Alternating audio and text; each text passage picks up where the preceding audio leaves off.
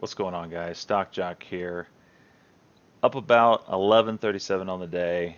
I think I'm going to hang up the hat for the rest of the day, but I just wanted to go over the trades that I did. It has been a really slow month. It started off good, but then it's just like the momentum has disappeared on these low float stocks under $10. And today, life has come back into, hopefully, I should say, life has come back into these stocks with the run of our uh, with the run of RGSE. But anyway, we'll get to that.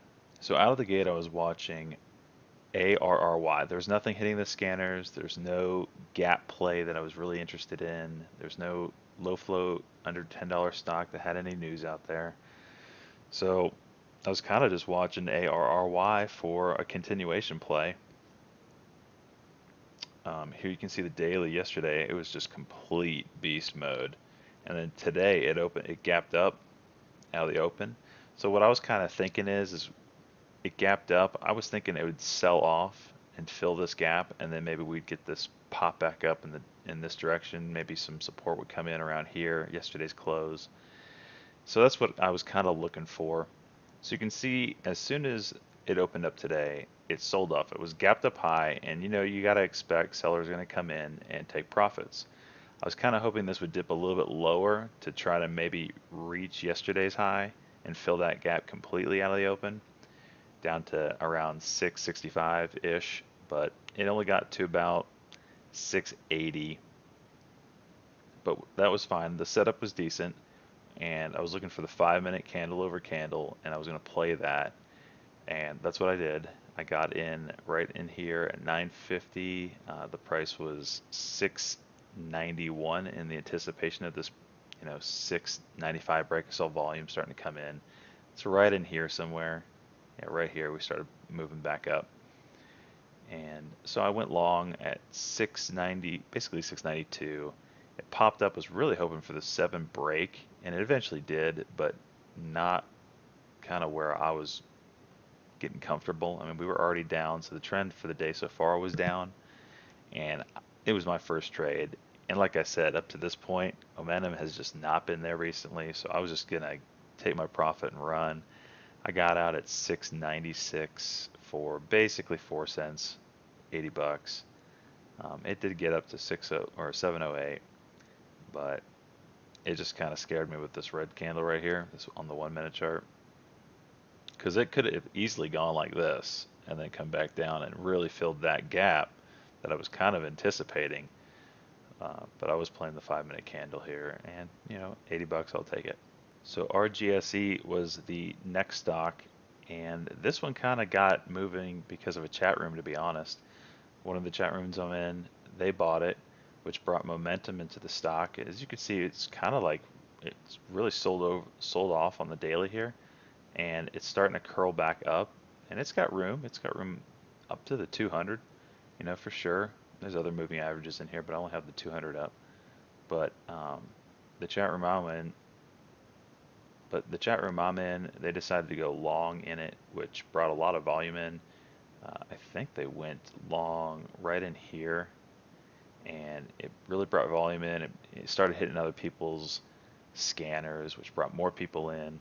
And the chat room I was in actually sold uh, in the three dollar range, I believe, like right right through here on this dip and that's when I felt comfortable of actually watching to go long myself because I didn't want to get in, you know, knowing that that whole chat room was in and they were going to sell. I, I, don't want to be up here. I don't want to be in up here knowing that a, a big group of people that started this move is going to sell soon. So I waited till they sold. They sold, and I decided to make a play at 1020 and um, this thing was just moving really fast. So I decided to play the one minute chart here.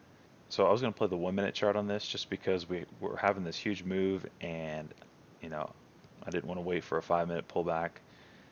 We just, a lot of volume was coming in, a lot of buying. So when that's happening, I do still want to play some sort of a pullback. I don't want to really just buy running up because you never know if you're going to buy the top. So we had a, a pop, a pullback, pop and a pullback and I was going to play the one minute candle over candle and that's what I did right here we saw the pullback Small little candle here, and then boom. As soon as that happened, I got long at 388 and it popped up. I sold for 393. Not much, but uh, obviously you can see it just took off from there. So after that huge run up, we broke. I mean, it, it looked like it was just going parabolic, and it looked like it was going to halt. And it was just pinned at 567. I thought it was going to halt. I'm not in it at this point, but then it just sold really hard. And it was really, really interesting to watch the L2 on this because any other time, it just it would have it would have halted. I don't know why it didn't. But regardless, a lot of people got trapped up here, and it sold off really hard. But I was watching it, and I was going to play the one minute candle again. So it sold off hard, actually came back down below five, and I was hoping to get maybe a curl right here, and that's what happened. We got a little little bit of a curl, so I played the candle over candle in the one minute. When you do that, it's it's a more aggressive place, and it's usually going to move much faster. So you've really got to be able to exit just as fast as you're entering. So uh, the high here was 491. So I was looking for basically a 491 break. I got in at 493. It popped over 5, which is exactly what I was looking for, and I sold at 508 for a nice little win there on 3,000 shares. I took 3,000 shares there. So my next play was KTOV. This was a pure news play you can see here that news came out on KTOV two hours ago, but it was first reported by Benzinga. Benzinga is the news source I listen to mostly. I have a link down in the description if you're interested in using it. I made a lot of money on this today just because of that news source. So as you can see, flat on the day, nothing going. Here's the daily, okay? So really nothing special about the daily. Nice little curl here after a pop nothing going on the day, and then boom, news happens. So when the news came out, I heard it. I know this stock is a former runner. It really can pop. I mean, look at these moves. There's some pretty huge moves in here on the daily. Look at that guy. So I know the stock can move both ways, up and down, but this had positive news. So I jumped in real quick at 3:44 right when I heard the news. I got over here as soon as I heard the news it was only up mm, like 15 cents at that point, so I felt comfortable jumping in right away. It's a low float stock. E-Trade is only showing 7 million shares, it was only up 15 cents, and not a lot of volume had come in yet. And knowing also that RGSE just ran crazy beast mode, so people are looking for that next runner.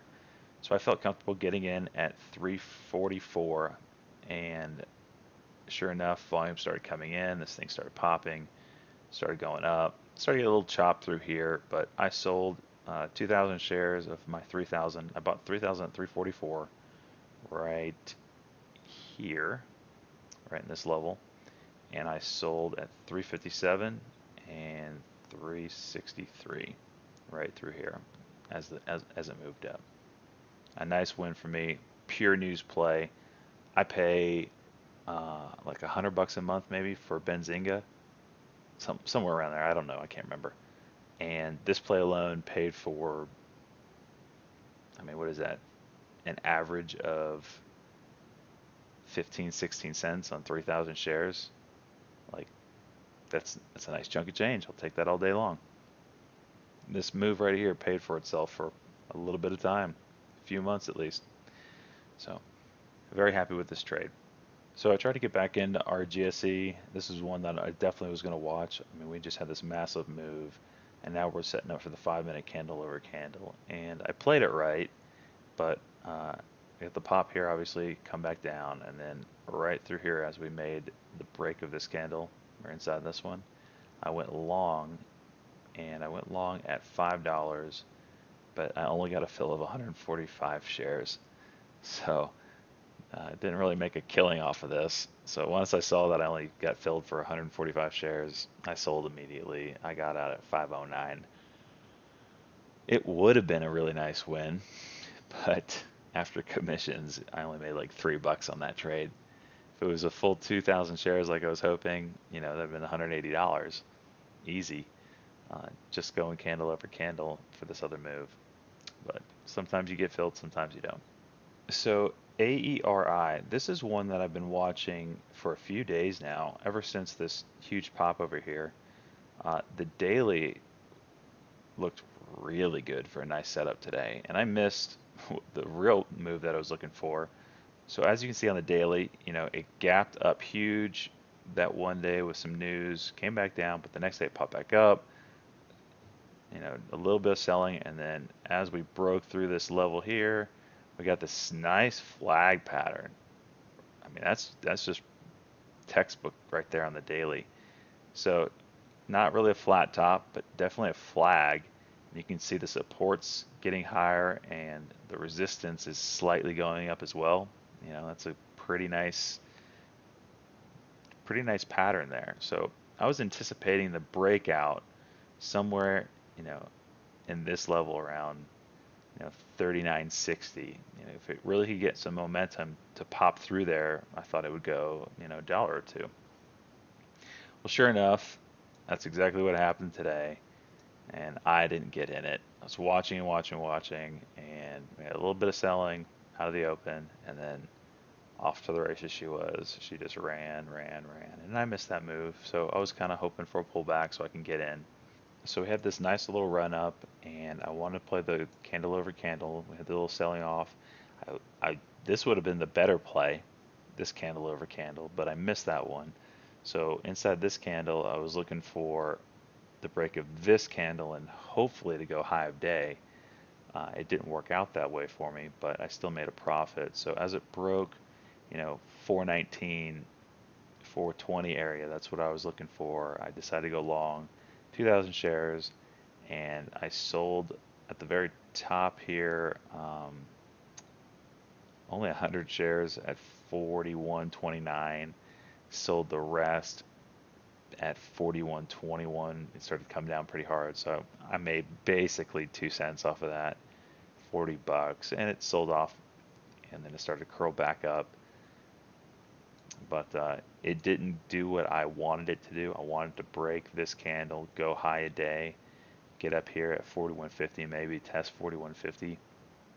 It just didn't do that. So um, you gotta you gotta take what the market gives you, and um, it didn't do what I planned it doing, so I got out. So I played RGSE again, but it was basically an even play. Uh, got in, got out. It really didn't work out for me. But uh, the next one that I thought was really interesting looking was SAEX. You might remember this one from way back when, about a month and a half ago. It went from $10 to $49 in one day, and then the very next day it went from 32 to 75. That's just a massive move. So a lot of people have been watching this one as a they know the stock can get moving when it does. And you know, uh, a couple days ago it did move. It went from six dollars to 10.50. That's a pretty big move, but since then it's kind of sold off from there and it was on my radar. I mean, I'm just, you know, I, I kind of keep an eye on it just in case volume starts coming in again. So I was watching it. Uh, it did sell off in the open, but then, you know, right as we got this curl here, some nice volume started coming in. I don't know if it was short covering, you know, they're taking their profits now and getting out, but volume just looked good. So we had this kind of a move up here and it kind of just consolidated. So I was looking for the next five minute candle over candle to get this thing going. And if you were on StockTwits, you would have seen my post uh, here at 11:08. I was saying starting to curl. This could get running fast.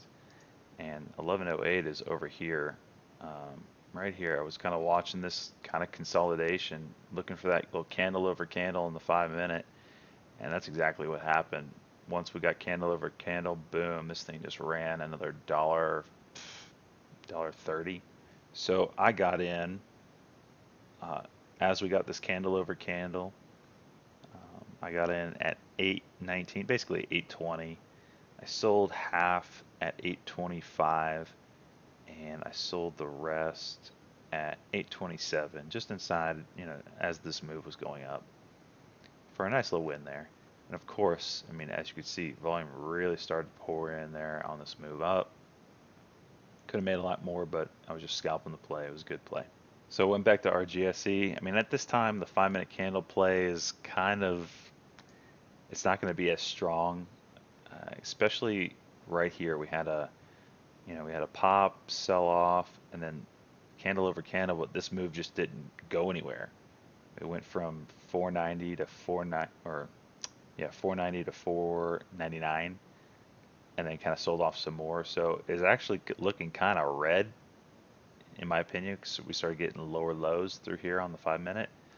But I was noticing that I'd give it one more I was going to give it one more shot because yes, it sell off, but it came right back up. It would sell off, but it would come right back up.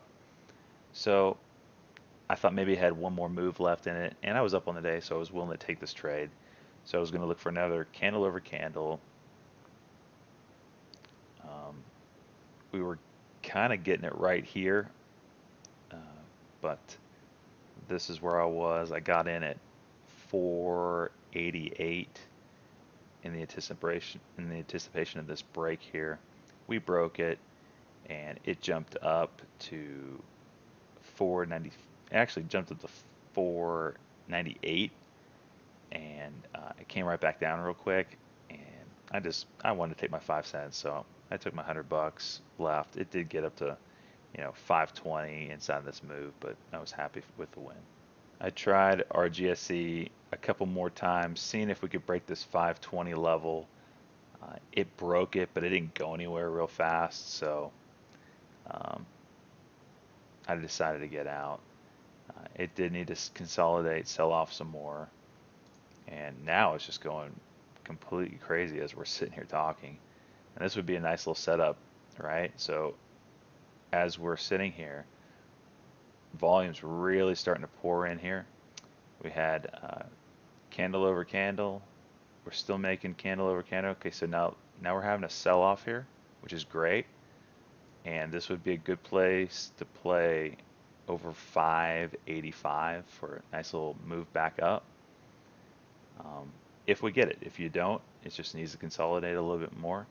There's a lot of people still stuck up here maybe that might get nervous to start selling, but uh, I'll definitely be watching for this move on the curl back up and maybe we get towards six. This has been a really strong mover today, so something that is probably the only one I'm really watching unless some kind of news comes out but just look at this volume. I mean, this is great volume for lunchtime or afternoon plays. I mean, inside of five minutes, you got 600,000, 500,000, 800,000, 800,000, 700,000 volume. That's really good. So definitely keeping on this, keeping keeping watch on this guy right here. And I did play uh, RGSE some more and AERI some more, but those were my main wins today. And uh, I'm to go ahead and shut this down now so I can really just keep an eye on this guy right here. But um, yeah, guys, I hope you made some good trades today. Follow me on StockTwits. Uh, be sure to get Benzinga news. I mean, that's a huge help on how to make money. Takes a little bit of money, uh, you know, just to invest in the product, but you know, they have monthly packages, they have quarterly packages. I have the yearly package it's definitely something that I would suggest as as well as those chat rooms. Chat rooms can move these low float stocks. It is crazy, but you got to keep in mind the whole market is a pump and dump. The, the entire market is a pump and dump. Just like those low float newsletters, you know, that you get in the morning that come out at 9:30 and they say this stock is the one to buy. You know, it's just a pump. But pumps happen all over the market as soon as you get your head wrapped around the idea that the whole stock market is one big pump and dump, it'll change your viewpoint on it and you'll become profitable probably faster. Someone's pumping a stock, so you buy it so they make money. You just don't want to be that guy caught with the bag in his hand. Anyway, guys, that's just my little little you know podium speech for the day. I'm getting off here. We're to watch this guy play out for the rest of the day. Hope you made some money. I'll see you guys tomorrow.